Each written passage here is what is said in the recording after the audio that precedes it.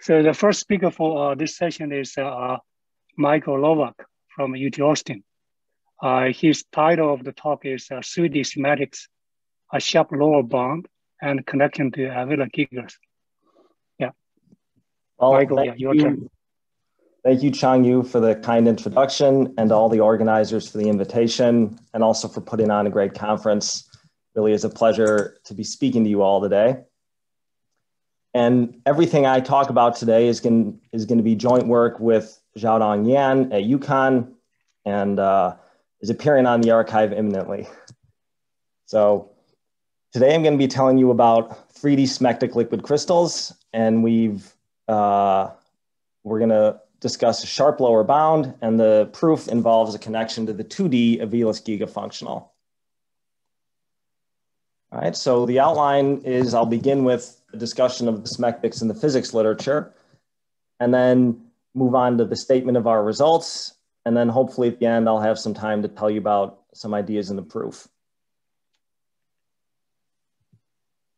Okay, so smectic liquid crystals we're looking at smectic A liquid crystals, and those are arranged, the molecules are arranged in layers such that the director is parallel to the normal of each of these uh, surfaces that constitute the layers. So that's described mathematically in terms of this energy functional, where the function phi represents uh, the smectic layers through the level sets. So if you see in the bottom right there, I have some level sets, phi equals one, two, and three labeled. Each one of those uh, you can think of as corresponding to one of the smectic layers. Okay. And the energy functional has two terms. The first, uh, you can see my cursor there, hopefully, is the compression term. And it enforces that the layers have equal spacing due to the um, penalization of gradient phi taking values away from uh, one in, in modulus. Okay, so that enforces equally spaced layers. And, and the constant B determines how much that's penalized. And then the second term in the energy here, the divergence of N, where N is the layer normal, is called the bending energy. And it penalizes layers that have mean curvature since we recognize that this divergence of n is nothing but the mean curvature of each layer. And so there's this inherent frustration between these two terms because in general, equally spaced layers is incompatible with curvature. And the only situation in which both of these terms vanish is the trivial one in which you have equally spaced flat layers. Okay, and that's part of what makes an energy like this interesting to study. All right, so that's the full free energy. We're going to look at uh, derivation of it, if you will, that I'll call the partially nonlinear free energy. And in order to motivate it, let's first see what happens if we try and um, construct a linear theory. Okay, and the way that you would try and do that would be to define a variable u that is the deviation from some fixed ground state. So without loss of generality, our ground state of equally flat or equally spaced flat layers corresponds to layers with normal uh, pointing in the vertical direction. So we look at the deviation u equals z minus phi. Okay, and then if you try and linearize the compression and bending energy in terms of uh, this variable u, you end up with this energy here, which is uz squared plus um, the Laplacian in x and y of u squared. All right, and it turns out that this theory fails, as has been observed uh, several times in the physics literature. And it fails for the reason essentially that this first term, the compression energy, uz squared, is only measuring layer distance in the vertical direction. Okay, and you see that some of these layers have layer normal that is non-vertical, meaning that uh, the, the spacing between them is not captured by measuring only in the vertical direction. And so this linearized theory fails, which, like I said, has been observed uh, several times at various points in the physics literature. And so the fix for this is to introduce what is called the partially nonlinear theory. And it involves uh, essentially changing the compression energy compared to the linear theory by adding in this minus gradient squared in x and y of u uh, divided by 2. And the reason that this captures the essential physics of the problem is essentially that now you're closer to measuring the distance between layers with respect to the actual normal and not just the vertical component. Okay, and the first example of a solution or a construction to this partially nonlinear theory was made by Brener and Marchenko, I think in 99, where for an edge dislocation, they solved the Euler-Lagrange equation and produced a solution to this partially nonlinear theory. Okay, and this is the sequence of functionals that we'll be working with for the rest of the talk. All right, and for convenience, we will divide by epsilon and b. Uh, you can maybe if you want to be more precise, you can non-dimensionalize carefully and arrive at the sequence of functionals E epsilon, which is one over epsilon times the compression energy. That's this first term plus epsilon times uh, the bending energy essentially. okay. And we're interested in the regime where epsilon approaches zero, which corresponds to the physical case where the intrinsic length scale is vanishingly small compared to the length scale of the problem geometry, such as the size of omega. Okay, so we're looking at the small epsilon regime. And the main result from the physics literature, which motivated our analysis, is this very elegant argument of Santangelo and Kamien. I think this was in 2003, the version that I'm going to tell you. And they performed a decomposition for the free energy called the BPS decomposition uh, in the physics literature. Um, for those of us in the mathematical community, we could think of this as akin to the Modica-Mortola argument for Allen-Cahn or the Jin-Kohn argument for Aviles-Giga, where you essentially complete the square. Okay, so we take the bending and compression terms and complete the square. And you have this cross term that pops out, which is twice uz minus the gradient x and y of u squared over 2 times the planar Laplacian of u.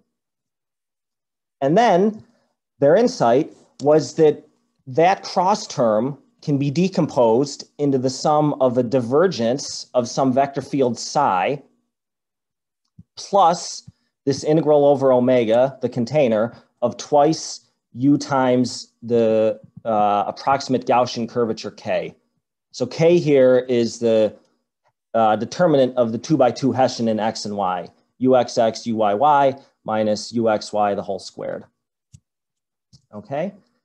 And so then they argued that if k vanishes, then whenever the perfect square term is, is saturated, which corresponds to the equation uz minus gradient u squared over 2 plus or minus epsilon Laplacian u equals 0. Whenever that is 0, then the only contribution to the free energy is this divergence of psi. And so the energy reduces to boundary terms, which if you're minimizing under fixed uh, boundary conditions, um, then you've found a minimizer essentially because solving this equation and having vanishing Gaussian curvature implies that um, the energy is determined and must be a minimizer. Okay, and they called this the BPS solution.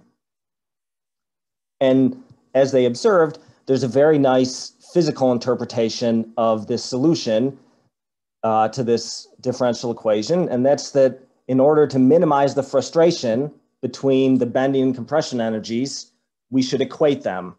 Okay. In other words, a squared plus b squared is minimized by 2ab when a and b are equal. Okay, and we'll, we'll call that equipartition of energy, between the bending and compression terms. Okay, and it, the argument relies on this K being approximately zero, otherwise that last term contributes to the free energy. Okay, so that's a crucial part of the argument.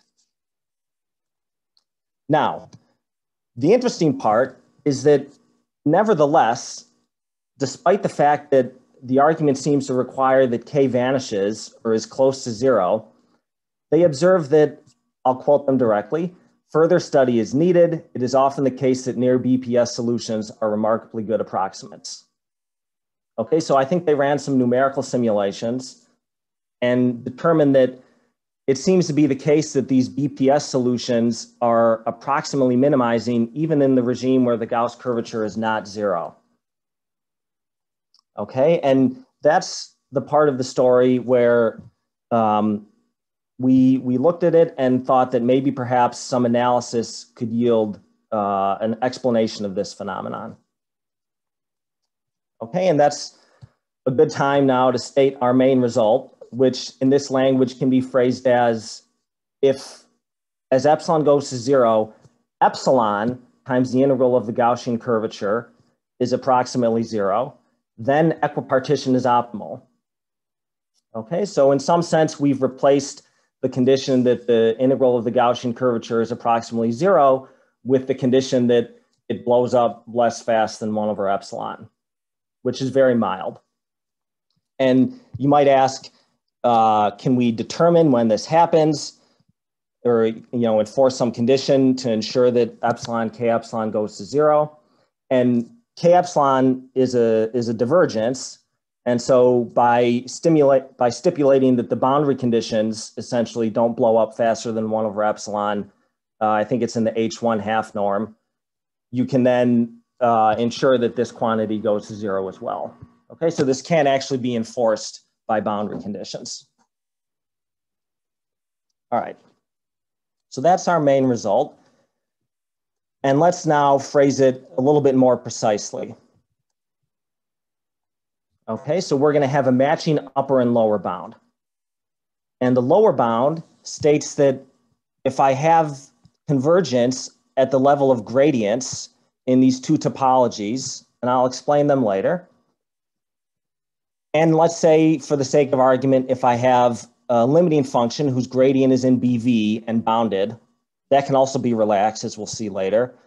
And this assumption that epsilon times the integral of the curvature goes to zero, then I have this lower bound for the energies in the asymptotic limit epsilon to zero by here, J sub nabla u is the jump set of the BV function nabla u. And then this energy density, which is uh, the fourth power of the gradient of the, of, of the planar gradient, the jump, divided by 12 times the jump in the full gradient. Okay, and that's integrated with respect to the two-dimensional Hausdorff measure over this uh, generalized surface in some sense, J sub u. Okay.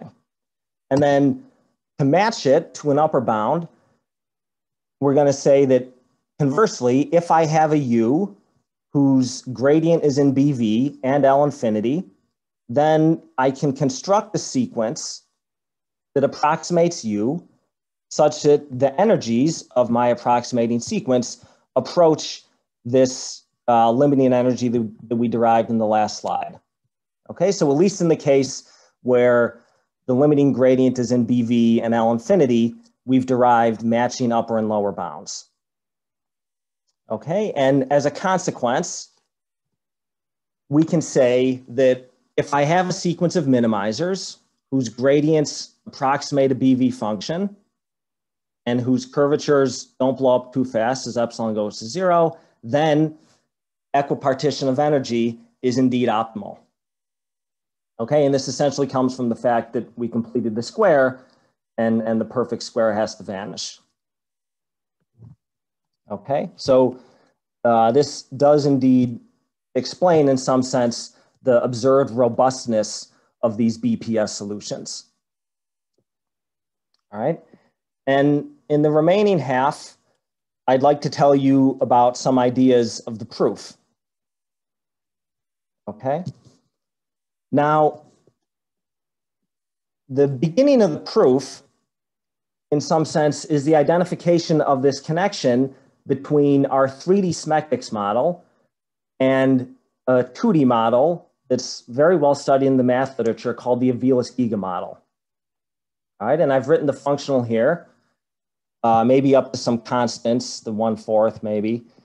It looks like one half the integral over the planar domain omega prime of one minus gradient u squared over four epsilon plus epsilon times the square of the planar Laplacian. You, you also might be familiar with versions of this energy that have the uh, full, the square of all the entries of the Hessian, um, and those two energies are equivalent up to a boundary term. Uh, so we'll, we'll, without loss of generality, work with the version of, of Aviles-Giga that has this um, elastic energy. Okay, so this is a 2D model, very well studied in the math community. And what's the link between that and our 3D model? Well, it's, it's very simple. If we assume that in our 3D model, we're on a cylinder, okay, so omega prime cross the unit interval, we have a cylinder of height one, and we restrict ourselves to functions whose z derivatives are uniformly equal to one half. Then what happens to our 3D energy? uz is one half, and so I pull that out, and that gives me the one fourth. And the integration over the cylinder of height one now reduces the integration over a planar domain because I've eliminated uh, dependence of the gradient of u on z. So now gradient u doesn't depend on z. And I have that this is equal to the Aviles-Giga energy. Okay, so the title of the slide sums it up in some sense. 2D Aviles-Giga is in fact a special case of this 3D SMECTICS model. And this is what inspires the analysis because there's very uh, beautiful work that's been done in the Aviles-Giga uh, achieving matching upper and lower bounds uh, in the case where the limiting gradient is in BV. Okay, and so I'm going to tell you how we um, use those type of ideas in this 3D model. Okay, so this one slide here is the heuristic proof of the lower bound. And it's dependent on this family of what is called entropies based on uh, the 2D so-called Jin-Kohn entropies. So Jin and Kohn uh, use these vector fields in 2D uh, to derive the, the lower bound for Aviles-Giga. And then Aviles and Giga also use them to generalize uh, to the case where the domain is not a box, I think. But anyways, we define these vector fields. And the important calculation is that the divergence of one of these vector fields gives us uz minus gradient in x and y of u squared over 2 times uh, the difference of these second derivatives, u c c minus u eta eta. Okay, and here we have a positively oriented orthonormal basis of R3 C, eta, and E3. Okay, and then similar to the BPS decomposition or by Young's inequality, you say that this is bounded from above by um, something that looks very much like our energy density for the partially nonlinear theory, up to this fact that we have the pesky minus sign there, which can be handled by introducing a curvature term. Okay, so this is bounded from above by substituting that with the planar Laplacian and then subtracting 2 epsilon times the Gaussian curvature. And this is essentially where the restriction that epsilon times the Gaussian curvature approaches zero comes from, because it pops out in this inequality. Okay, and I should say that um, in the case where uz is equal to one half, and we're on a cylindrical domain, these entropies are exactly the Jin-Kohn entropies, the first two components. Okay, so there is this third component because we're in 3D, but they do in fact reduce to the Jin-Kohn entropies um, when uz is equal to one half, and you look at just these first two components. All right, so that holds for any choice of this basis. which indicates that in some sense, the lower bound, and I'm going to put this in quotes, is essentially the supremum of all the versions of the divergence of these vector fields. So I look at all possible combinations of these C and eta, and I take the supremum of their divergences. It should bound my energy from below up to the curvature term. Okay, and I put that in quotes because technically um, you should formulate that distributionally. But the moral of the story is that this is in effect the correct lower bound.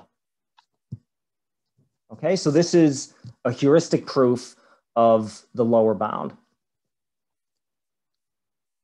So let me tell you a little bit more um, detailed story here. The, the proof essentially proceeds through the 3D version of what in 2D is known as the Aviles-Giga space. And so we'll call this the 3D Aviles-Giga space.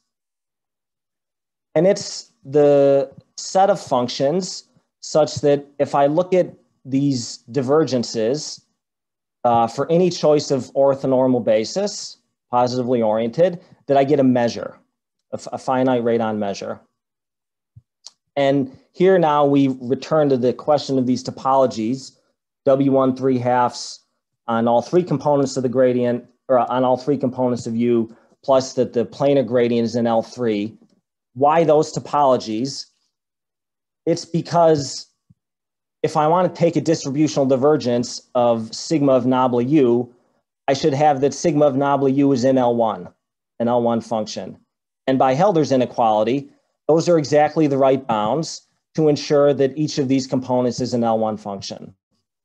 Okay, so the choice of topologies is very natural. It, it's what allows each of these entropies, so to speak, give me an L1 function. Okay, and that's uh, what we'll call the 3D Aviles-Giga space. And so um, similar to this um, paper in 2D of Ambrosio, DeLellis, and Mantegazza, we're able to define this vector valued radon measure I of U, which is the divergence of just two of these entropies, the one corresponding to the standard basis in R2, E1, and E2, um, plus the one corresponding to the uh, rotated version of that by 45 degrees. So I've drawn the picture here. Uh, that's we'll call epsilon one and epsilon two, and hopefully you'll forgive my abusive notation there with epsilon. Um, but that was the notation used in 2D, and in the spirit of uh, continuing that, that's the notation that we'll use. Okay, and again, I've, I've suppressed here the dependence of this entropy on Z because all of our family of entropies uh, have essentially similar components in the Z direction, or at least in the choice of basis, they have uh, z, z hat as a basis vector. Okay? And the, the calculation that you can make then is that this supremum of all these divergences over all choices of C and eta is in fact nothing more than the total variation of this vector measure I of u. And you can think of this as a, a Aviles-Giga version of the fact that in the plane, I only need ux and UI to recover all my partial derivatives. So in some sense, I only need two entropies to recover the whole family of them. Um, you can prove that any other entropy is a linear combination of uh, those two. And this indicates then that this I of u, the total variation, is the lower bound for E epsilon.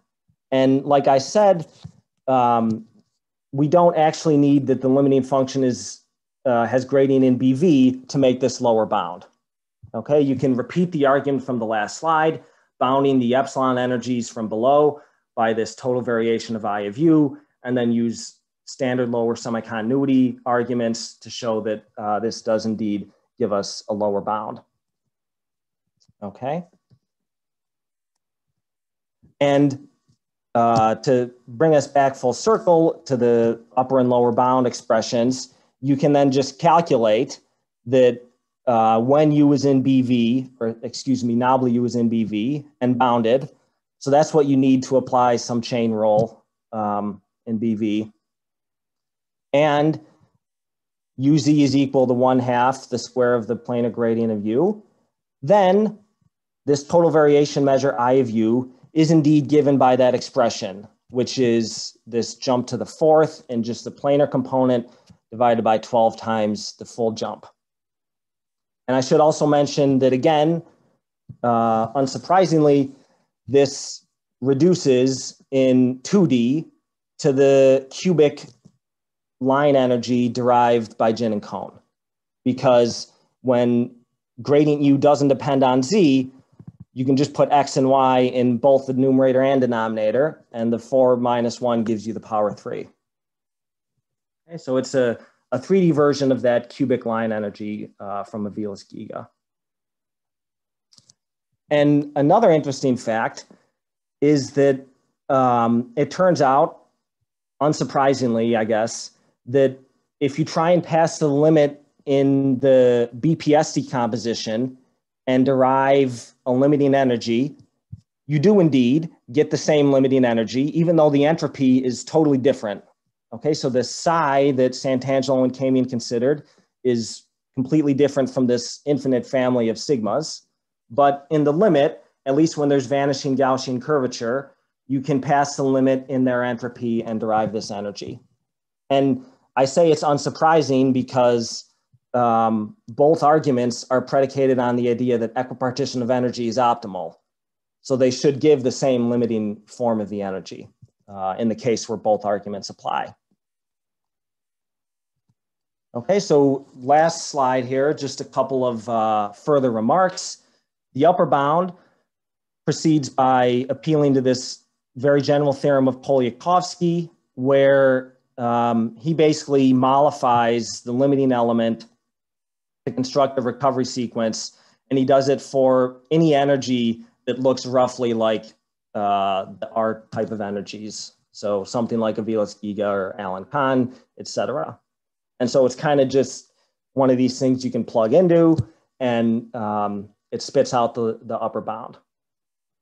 And finally, here in the last, I guess, one or two minutes, I'll say that we do have a compactness result where if you take an energy bounded sequence, and right now we also have some technical assumptions that perhaps could be weakened, but we're not, we're not sure yet, that uh, you can indeed extract a convergence subsequence.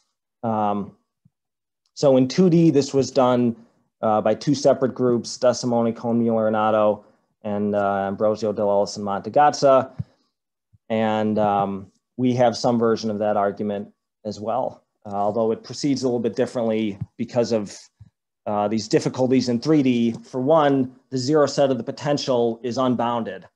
uz equals uh, the square of the planar gradient of uh, u. So the fact that that set is unbounded uh, means that we're going to have to assume something.